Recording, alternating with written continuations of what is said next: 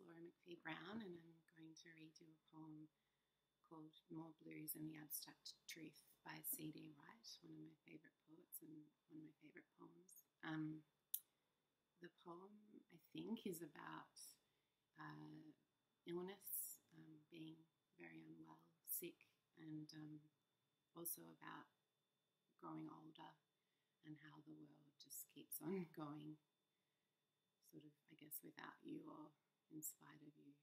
Um, and I guess I think it's it feels quite relevant when I read it to what's happening in the world right now. Okay. More blues and the abstract truth. I back the car over a soft, large object. Hair appears on my chest in dreams. The paperboy comes to collect with a pit bull grandmother, and she says, Well, you know, death is death and none other. In the mornings, we're in the dark, even at the end of June. The zucchini keep on the sill. Ring grandmother for advice, and she says, Oh, you know, I used to grow so many things. Then there's the frequent bleeding the tender nipples, and the rot under the floor mat.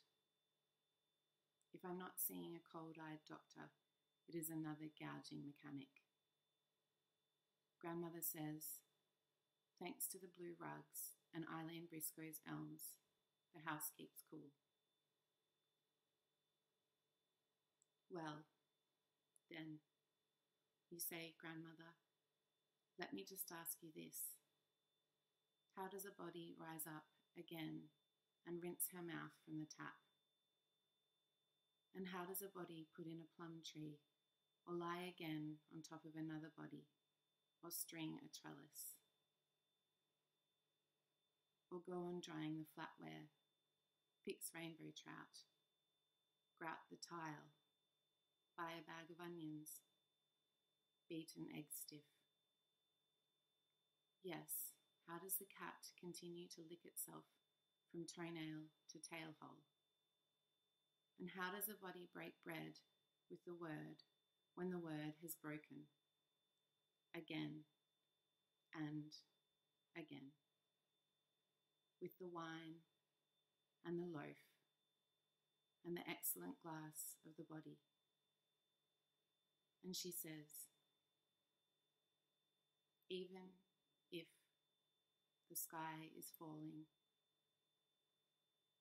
My peace rose is in